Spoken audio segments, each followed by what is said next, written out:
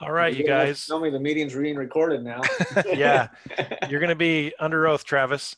Oh, so, um, I'd like to introduce to everybody uh, my friend Travis Hanson, a uh, handsome fella and excellent illustrator. He has a, a long and varied career working in a variety of areas from graphic design to art director, small business owner, independent artist, and publisher. Um, he's uh, worn a lot of different hats in his life, done a lot of different things in his career, and so I thought it'd be really good. Yeah, there you go. I thought it'd be really good to uh, pick his brain and have him discuss kind of uh, his business experience, and then also just the you know the ups and downs of being self-employed as an artist and a designer, and just some of the things he's tried.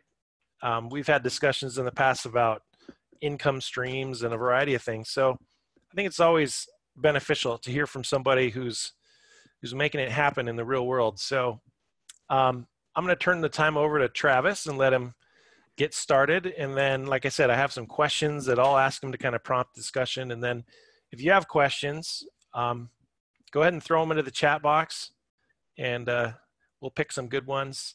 And then at the end, I think I'll just open it up we'll have a free for all. So um, take it away, Travis. All right. Um, well, my name is Travis, like uh, Patrick uh, stated. I've known Patrick for many, many years uh, through the different conventions and, and comics and, and such.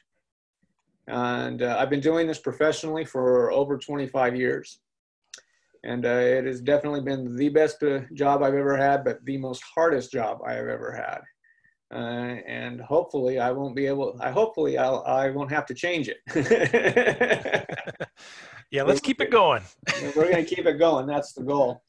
To uh, I'm gonna do something really quick. Uh, I'm gonna share my screen with you too a little bit so you can see kind of some of the artwork that I do and and get an idea. Uh, I am mainly my my main focus is I'm a children's illustrator and a fantasy illustrator. And uh, so I'm always creating new and, and different things. The other thing is, if you'll notice, uh, one of the uh, important things about my work is if you look through it, there is no uh, stuff that you would normally see uh, copycat artwork. There's no Star Wars. There's no um, Disney, I, I'm really a big proponent of doing your own work and why that is important. And I have found that if you want long term success, then focus on your own IP. If you want a quick turnaround and maybe a quick quick cash grab, but it's not a lasting job model, draw someone else's property. It's, it's one or the other. Um, it's okay to, you know, occasionally I'll draw a Wolverine because I like the character, but I'll never mass produce it. And that becomes a one of a kind original piece and it just allows people to, to see that I can do other things. But my main focus was, and it's always been create your own stuff, create the things that you wanted and not what other people tell you uh, what they want. Um, so you can tell I like dinosaurs. I like kids. I like, uh, apocalyptic scenes with robots and uh, I am a huge proponent in my artwork of finding hope. You know, I, I'm a strong believer. You can't control where you're born. You can't control where you come from, but you can definitely control uh, what you do with your situation. And I always look for the positive. This is one of my favorite uh, early pieces that, that kind of reminds me to always look for the good. And you can find that in an art career and uh, and right now that's really important right Trev? oh it's one of the things that's kind of getting me through and a lot of other artists through is is having that that hope uh, of creating going okay if i can get back to my community i'm going to get back to my community and you're going to find that the more that you give back the more people your fan base will will they'll, they'll grab onto that and they will come back and support you. you you won't find that you get abandoned by a fan base at all um, let's share another quick screen just to, to give you an idea. Um, my current project that I work on right now is a comic called Life of the Party. It's based on Dungeons and Dragons and role playing and fantasy. This is one of the programs that we use to do the illustration work, which I absolutely love and, and think that if you're going to, to do any kind of digital illustration, you need to get um, connected to these programs as well. So this is Clip Studio Paint uh, EX, and it's super cheap. It's like 75 bucks for the year. And, and it, what you can do with it is, is I can draw and you can't even tell the difference uh, than from traditional. It's, it's, also extremely compatible with Photoshop. So um, it's so compatible with Adobe programs that once I do the illustration, I can go in and color it in Photoshop and it allows me to, to use all the programs together. So it's just a great way to do that. And these were, this is a freebie that we gave away um, actually today it's a coloring page to allow people to just kind of de-stress a little bit. If you go to my my Facebook page or find me there, you can just grab it and download it and just enjoy it. Um, practice coloring in, in Photoshop or just color on your own.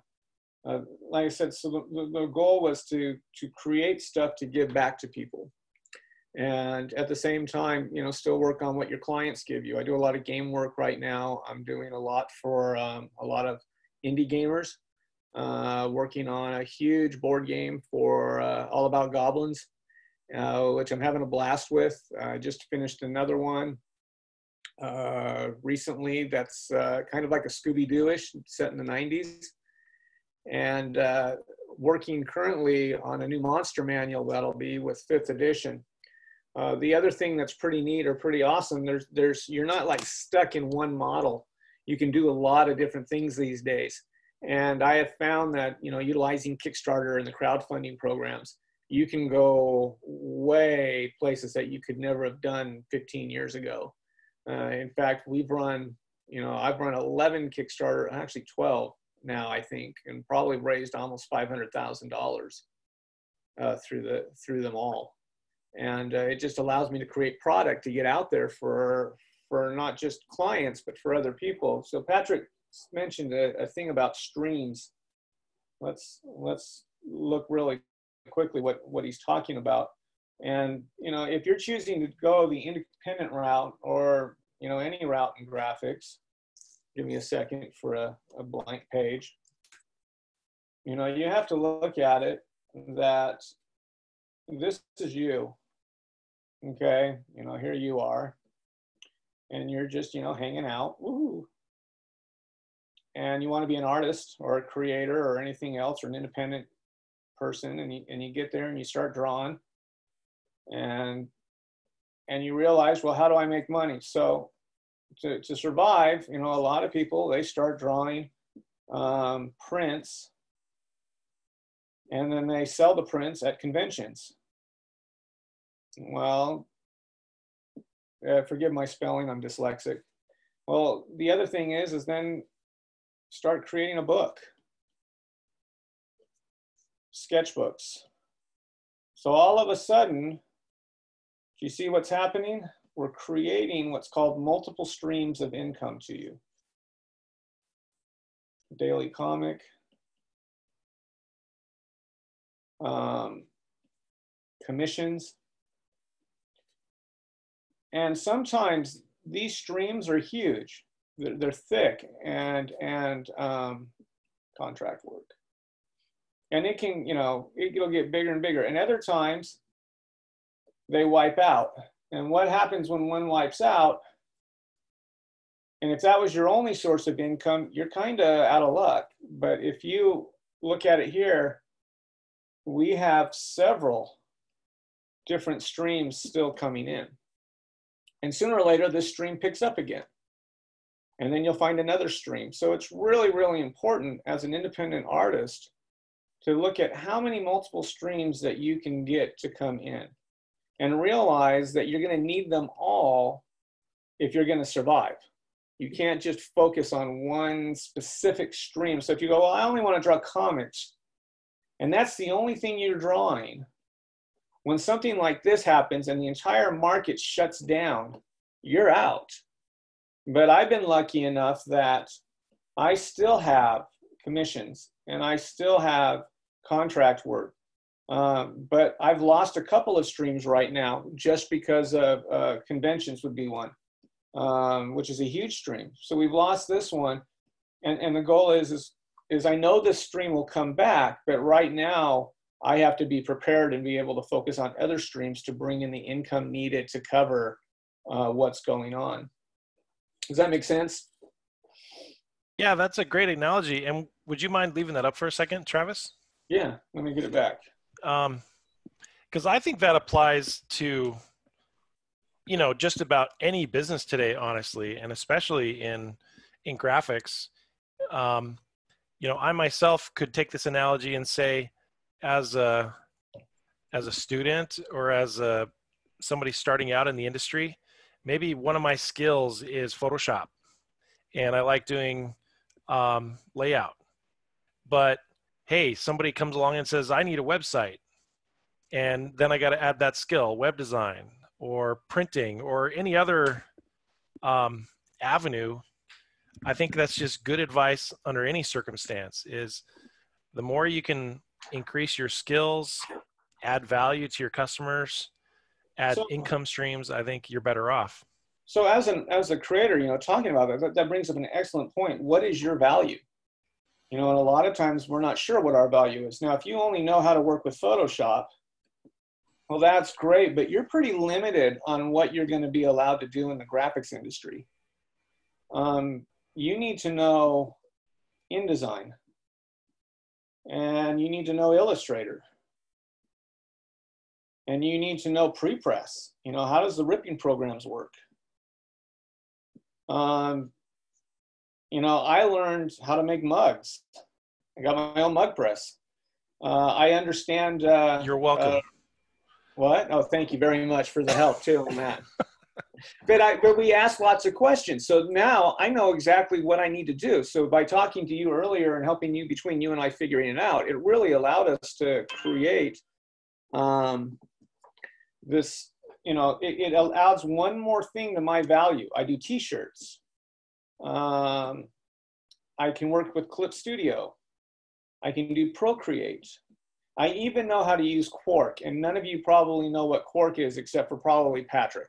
I, bet Rick, I bet Rick knows Quark. Rick, you know Quark? Evil program. So if you only focus on one skill here, though, you're stuck. You know, you need to broaden out. Um, and what happens is, is is if you're still here, you're in Photoshop, and this is the only skill that you know, your value might be 15 bucks an hour, if that. Minimum wage. So the minute you start adding this and this and this and this and this and this and this and this and all these other programs and all these other skill sets, your value goes through the roof. And why do people call me right now? They know I'm in a meeting. All right, so your value goes through the roof, and that's kind of what you want. You want your value to go through the roof.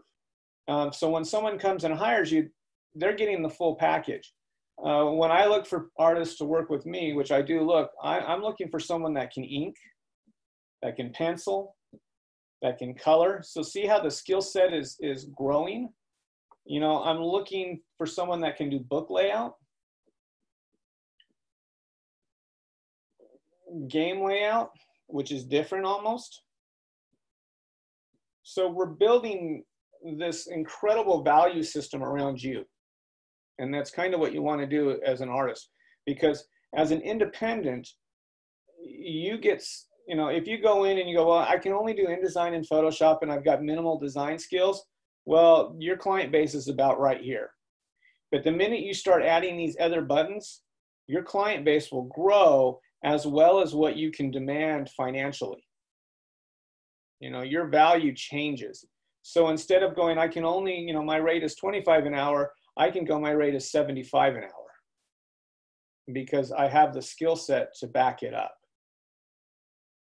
Um, so when it comes to value, do you have to be working on a multiple things or once, or is it something where you're able to jump from one thing to the next one? Uh, it, it's actually both.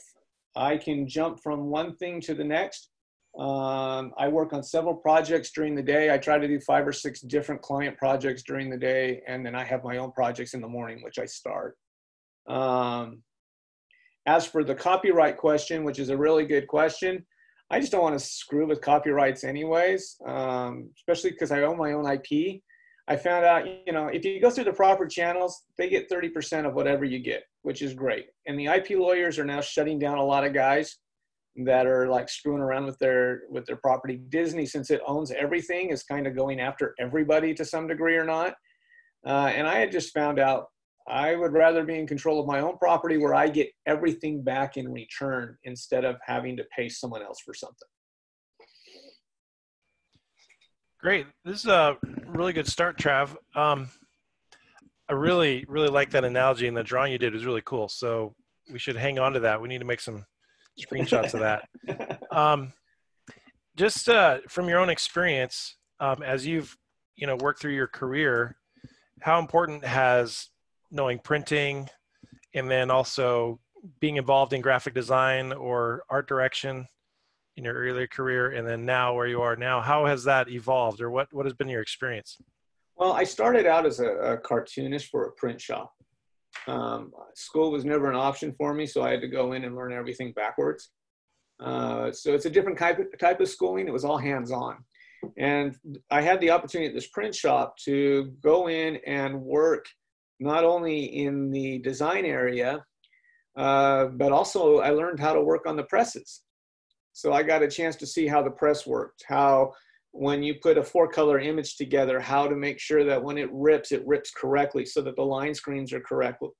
Uh, and understand what the DPI actually meant and how important it was, how to register an image to make sure that your colors all lined up perfectly.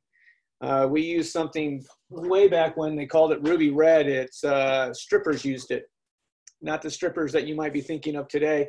These are these were guys that uh, they would strip out the page and they would lay all this color and paper over it to make sure that certain things were masked out and not so that it would print correctly on the press.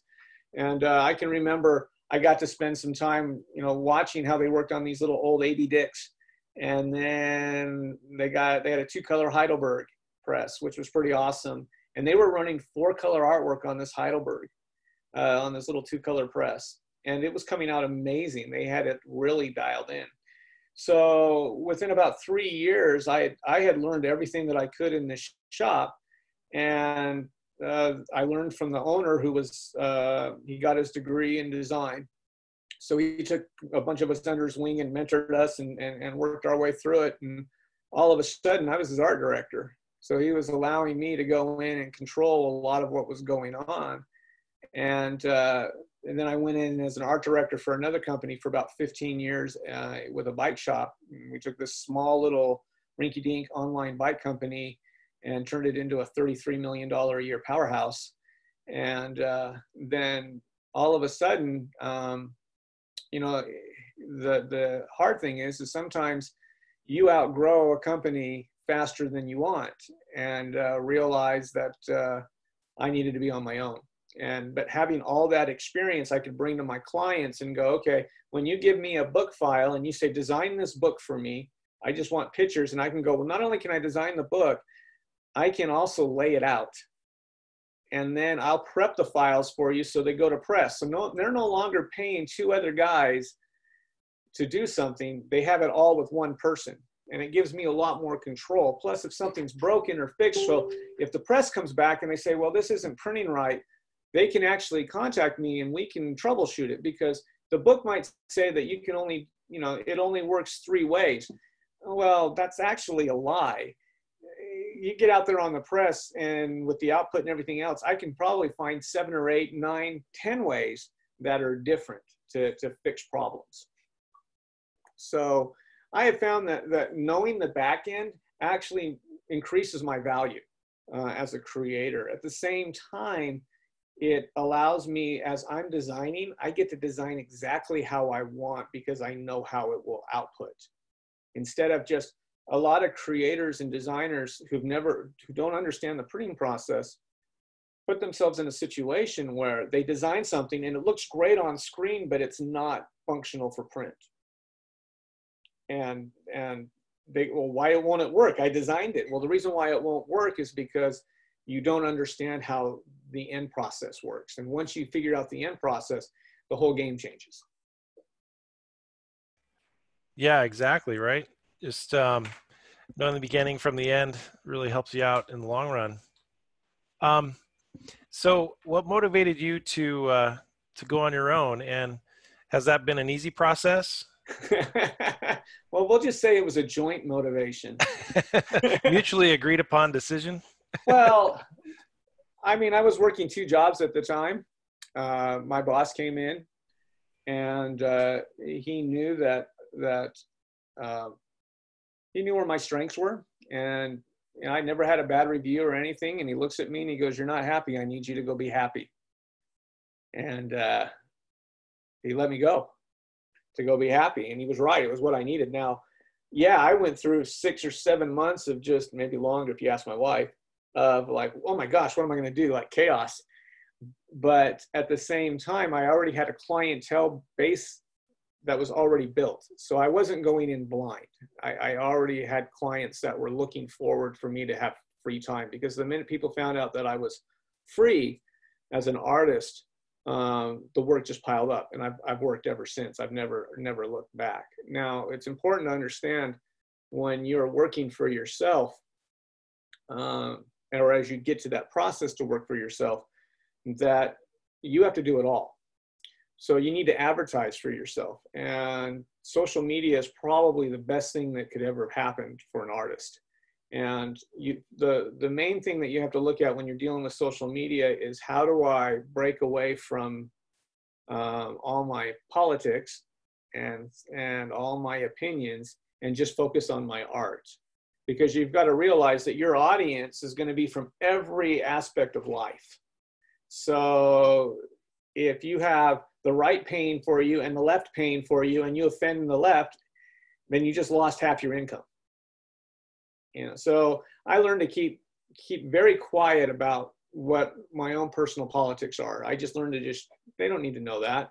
Um, what they do need to know is that i draw and so my goal is to constantly post art now i don't just stop with one social media platform uh, some people go well i hate twitter yeah i hate twitter too twitter is just noise to me but i use twitter because uh, we found out in a kickstarter i got 60 to 70 backers from Twitter alone out of 1600. So, and that's a lot. When you think of each backer as 20 to 25 bucks a piece, that builds up. So you learn to use each social media. Instagram's great. Um, Facebook is fantastic.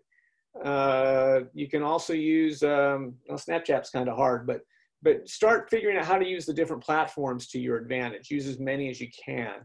And the more that you can, the more people see your work. Second, post every day. You know, it could be something as simple as, um, let's go back.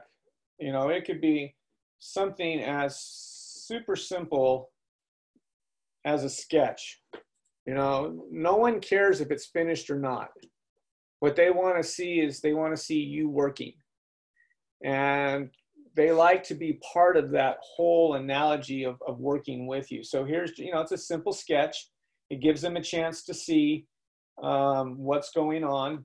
And, and that's all they need to know. So, so when we, when we do that, it just lets people know that I'm there every single day because this is also the profession that if you stop posting artwork, you're going to be forgotten very, very quickly you, constantly have to keep your game up.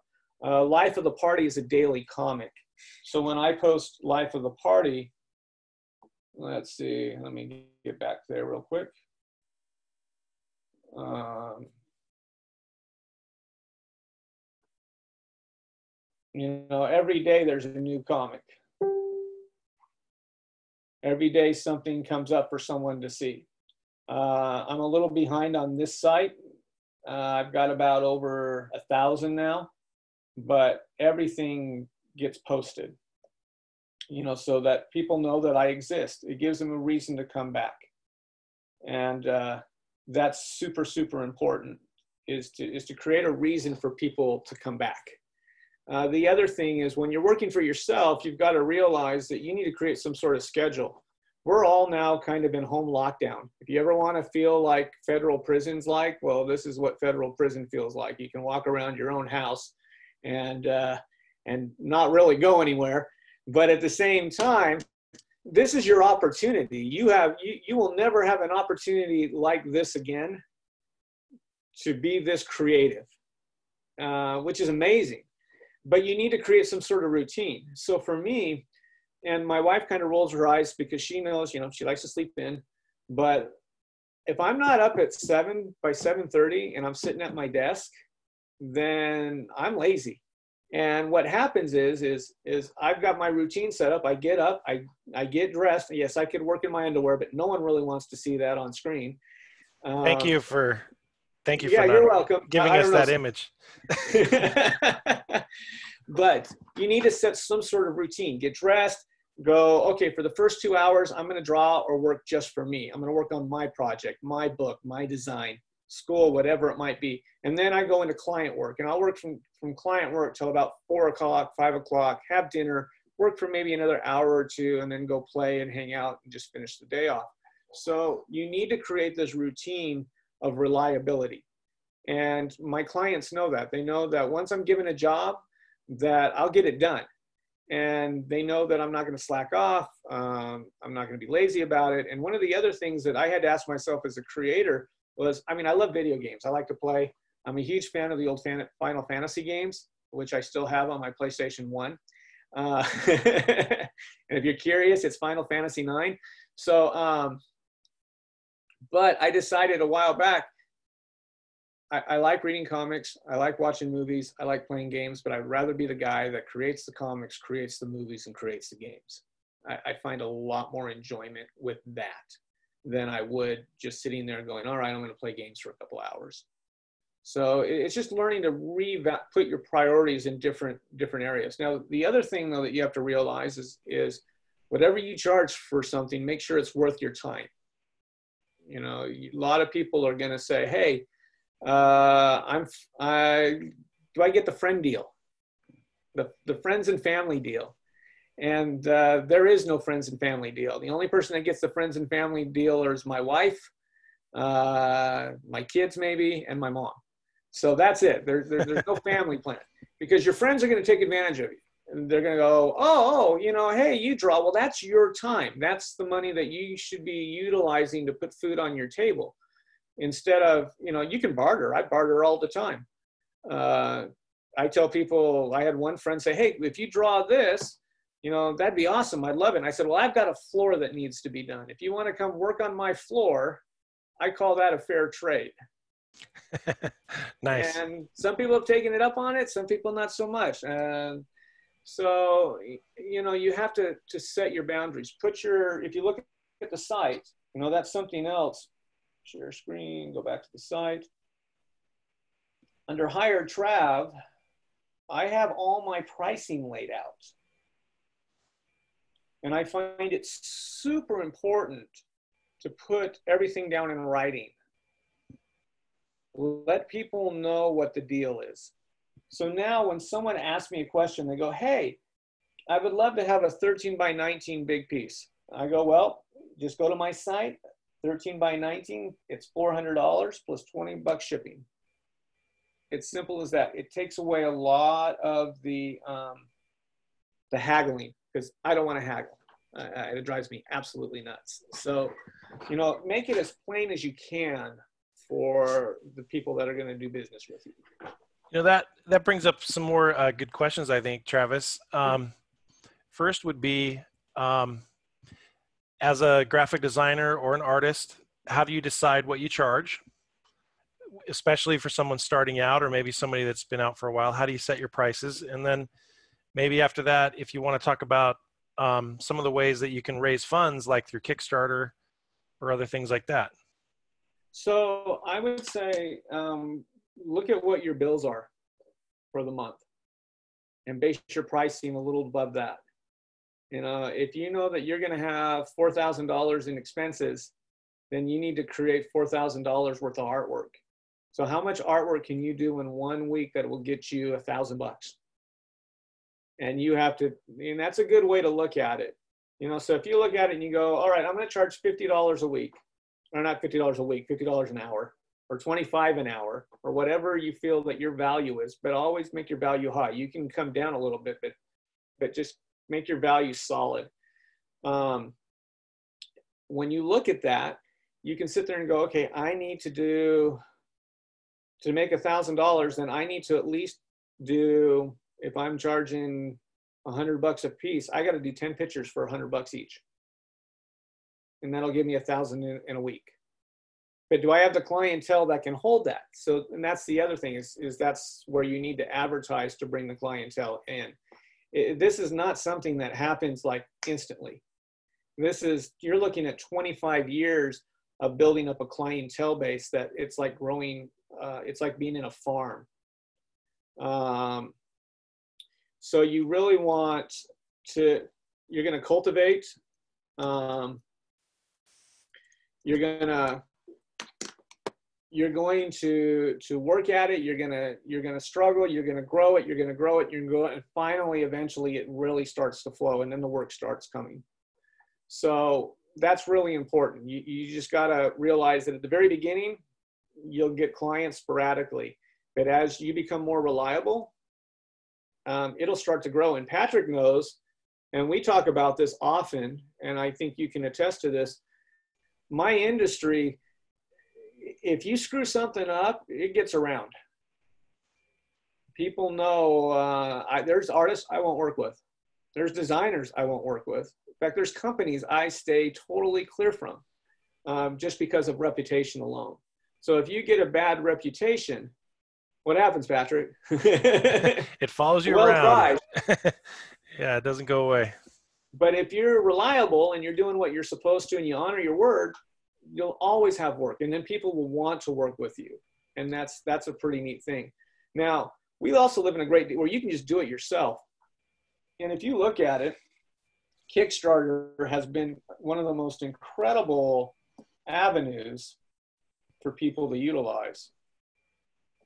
So if we go back up here or indiegogo but i like kickstarter better than indiegogo just personal preference so let's um, see if this will even go. All right, so this was my last Kickstarter.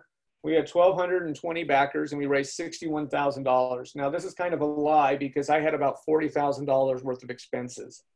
So don't feel that, oh wow, he raised 60 grand, that that's all the money. No, I had to pay quite a bit out uh, because what I'm raising money for was to build a product, not for me. I'm, I'm not here to make money. Uh, if I make extra, great. We made a little extra, so it was good for us. But it's important to realize that you got to separate that. You've got to go, okay, my Kickstarter is is strictly to raise product to, to do a book. And so we created this this whole campaign for this one book. You know, we put the dimensions of the book so people could see it. They got to see the cover, pages that were inside, and we made it as graphically enjoyable as we could we beat monsters down the way. Um, we had a whole group of different places where people could back. Um, and we found that, that this is an incredible business model to help you get to where you need to be. Um, if you choose, you know, to go this route, my suggestion is very simple. Have a product in mind, whether it's a book, whatever you want to do. Uh, know the costs. Get, get all the costs down. Understand how much the project's going to cost. Realize that Kickstarter and the bank are going to take probably about 7% of whatever you made. So that gets taken off. So put that into your goal of what you want. The next thing, look at um, shipping. Uh, most of us ship from China. That's where I get most of my books. Uh, right now, uh, I just talked to my printer. I, am grateful I don't have a project coming over the water right now, but there's a two month delay that they're going through. So you've got to be prepared for anything that, that comes up. I also do original artwork in these campaigns. I've got 16 pieces now that I've got to draw that I still have to finish.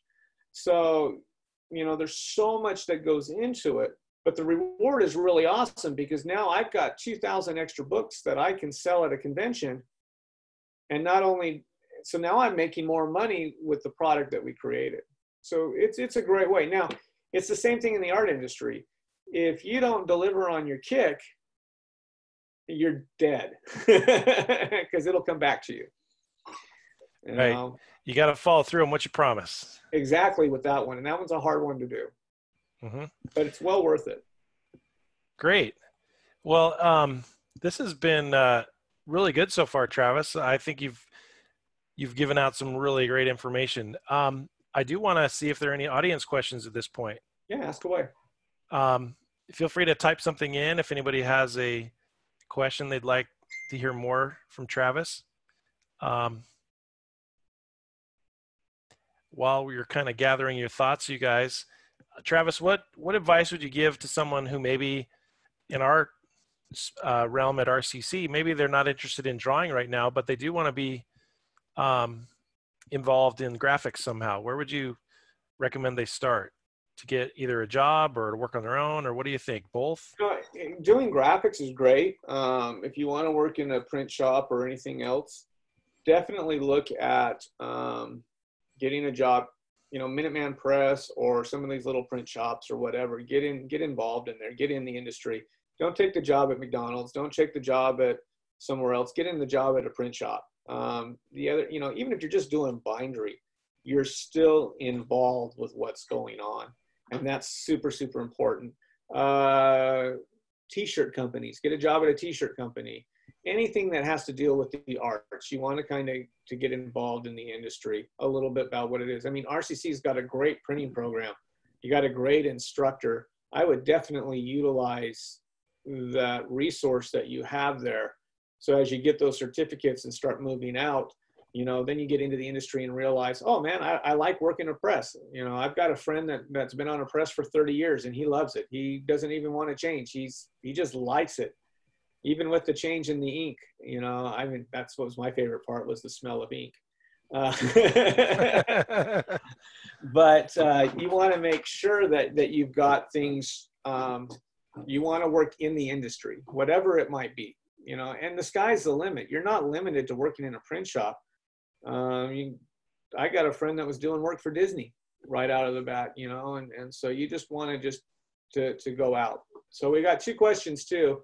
Yeah, uh, great. What, why do you prefer Clip over inking in Photoshop or Procreate? Uh, Clip Studio to me has a much more natural drawing feel than either Procreate or Photoshop.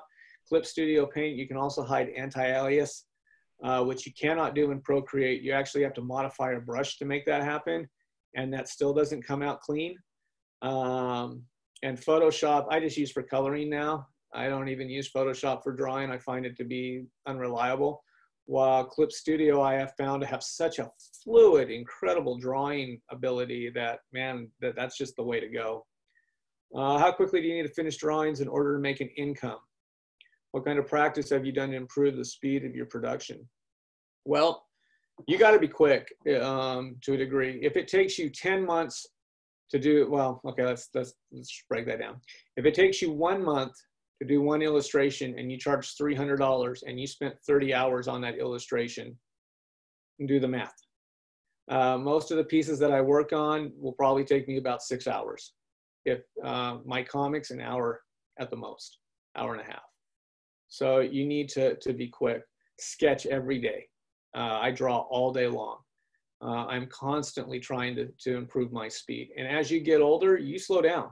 Uh, I mean, I used to, uh, I do free sketches at conventions, and Patrick knows this. And we figured I've done about 35,000 sketches in 15 years, if not You've more. been working a long time, old man. I sure have. but, uh, but at the same time, I'm not as fast as I used to be, but I still try to keep my speed up. Um, so what kind of practice? I, I just doodle. I, I doodle all the time. What do you do when you get stuck on an uh, artwork? I go to another art piece. I, I, I, change gears. Uh, it's okay to put a piece down for a bit. There's nothing wrong with it. If there's a deadline that it's due and I procrastinated and I waited till the end, well, then I got to push through it. Uh, and sometimes that's all you have to do is push through it. You can't really just um, you know you can't walk away but there's other times that I, I walk away and I'll come back in an hour or two, uh, uh, you know, refreshed. Uh, I'll go look at something. I'll go watch a Miyazaki movie. Um, I just, I, I, go look for inspiration. I might even troll uh, um, Instagram for ideas. You know, it's anything that I can get my mind back into the game. Um, what's the most difficult part about being a freelance artist? Knowing when the next job's going to come. You never know when the next job is. Uh, how long do you estimate it would take to develop a client base if you've not worked for someone else first and need to develop one? It, that depends on you, actually. Um, you know, I'm looking at 25 years, and most of my clients I'm meeting for the first time uh, in the last couple of years. I've been posting art though for 25 years. Uh, I post every day, and and I've realized the more that I can get something in someone's mind, you never know who's looking at your art. Um, you got to understand, looking at, you find people, art directors are trolling these sites all the time, looking for artists. Uh, and I was amazed. I had a call from Blizzard once looking for if I wanted to work on a project with them. And uh, it didn't work out, and that's okay, but they found me online. So there's really how much are you willing to put into it will probably determine how quickly you build a fan base and build a clientele. What are the copyright issues when it comes to selling fan art? Basically, they can shut you down if they want completely and make you pay back. You got to look at that realistically. Um, Disney won't touch you until you start making money. Uh, think about all the little baby Yodas. You know, they they were like fine, and then all of a sudden, people were making so much money on on Etsy, and and all of a sudden, Disney was sending out cease and desist. They were like, "You're done, no more. We're we're, we're through." So um, it really, my deal is stay away from it. It's not worth it in the long run because you spend your whole career chasing somebody else's dream. You're chasing someone else's artwork. You're chasing whatever's the next hottest thing or you think the hottest thing is. So all this energy that you could have put towards you, you're putting for a quick cash grab at the moment. Well, that cash grab is going to dry up sooner or later. So what you need to do is kind of figure out how much, how am I going to survive long term? And that's where I really focus on building your own your own world, your own creations, your own style, your own books. Make yourself you, you know, make yourself the IP. Then you don't have copyright issues. You're, you're in a lot more better control of your career and you get to control a lot of the shots. Uh, you mentioned you were involved in indie game projects, correct? Yep. If you have an intellectual property or an idea that you want to make out of a game, how would you make a team to make sure that reaches its goals? Well, Brandon, you actually need to find out. The hardest thing is is finding someone that is married to your idea. We all have our own ideas, and we um, that's a frustrating thing is is bringing someone else into the party that's not married to your idea. I, I actually prefer to work on my own projects alone. I don't usually bring people in, but not everybody is an artist. Um, and when I'm working for other artists, it allows them to uh, they pay for the service. So now I'm married because I'm being paid to draw their book or their game or their project. And that's the same for you. That's how you build your team. You need to be willing to, to pay for the talent that you're going to have design your game. And you have to figure out how to make that happen. And that's going to be a tough one. That's why I say Kickstarters or put some money away or something. You know, just get some concept art done and then you can get other people to finance it or back it. But honestly, finding the right team, that's a tough one because you you you're going to have you know, you want to do it with your best friend, but your best friend might not be willing to put everything in it. And if you put a team together, make sure you have a good contract that it's all out in writing, you know, so everybody knows what they're getting, how it works, and if they don't do their part of the job, what happens to them. So um, as for reaching its goal, that's all about individual drive. You're going to have someone that needs to push that that project, whatever it might be, to get it done.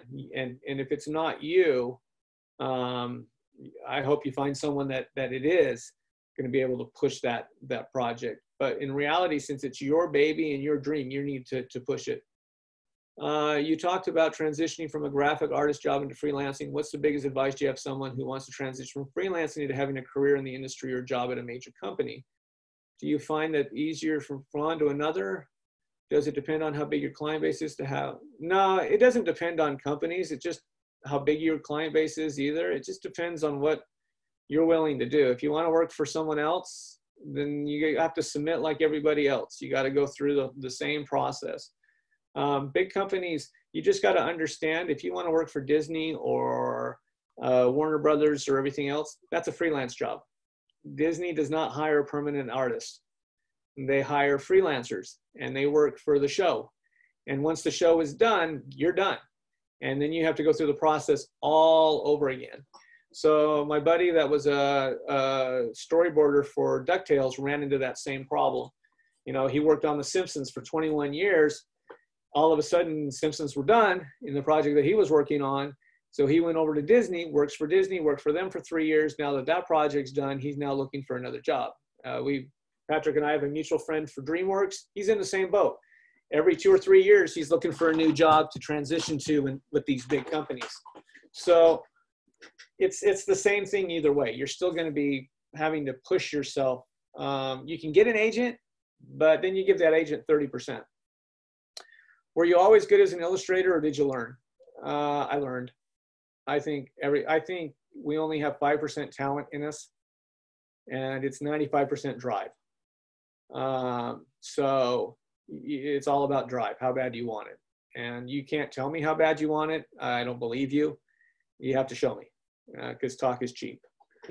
Uh, do you use any traditional advertising for promoting your work or Kickstarter projects, or is it simple social media mouth the word?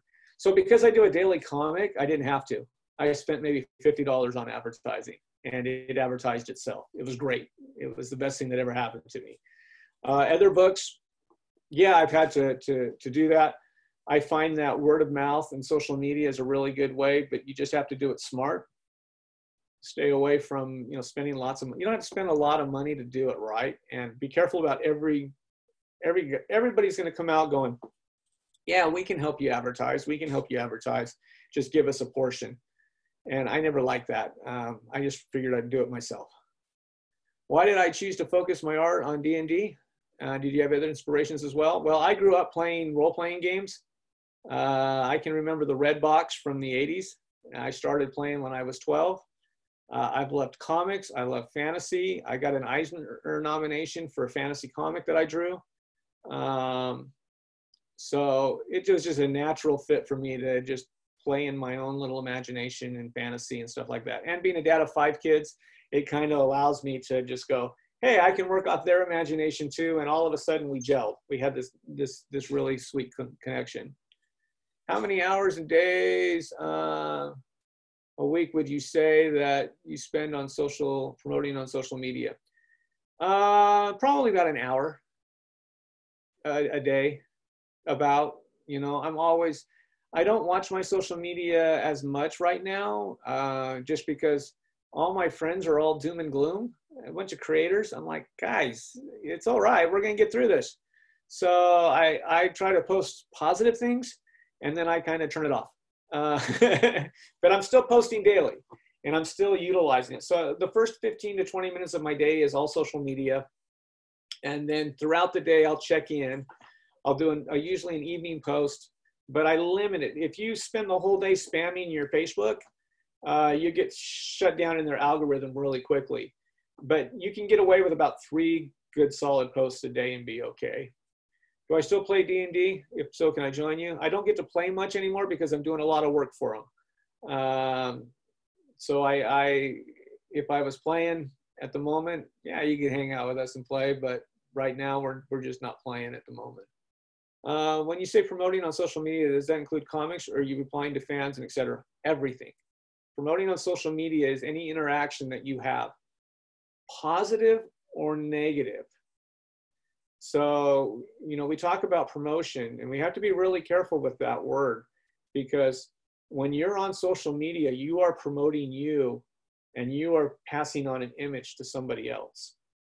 And that could be a positive image that people will gravitate to you and gravitate to your works, or it could be a negative image where they shut you down.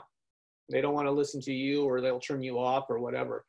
Uh, we spend a lot of time uh, venting on social media, and a lot of people turn that off. Uh, so if you switch your your mode a little bit and do ways to promote and to build up things, then then things start to happen. You you've got to create hope, and it's pretty awesome when people recognize that. I think I think that's a a good place to pause, Travis. I think that's a really good message to get out there right now, especially is to be to be positive and to share good things because I think that does uh, attract attention. Uh, it's easy to be negative. I like to say, you know, it's it's a little bit more work to be positive, but especially considering our circumstances right now, I think that's really good advice. Um, so we're almost on an on an hour here, so I don't want to use up all your afternoon. Um, but uh, what I was thinking is um, I'm gonna go ahead and end our recording, and uh, and go ahead and set that part aside, and then. Um,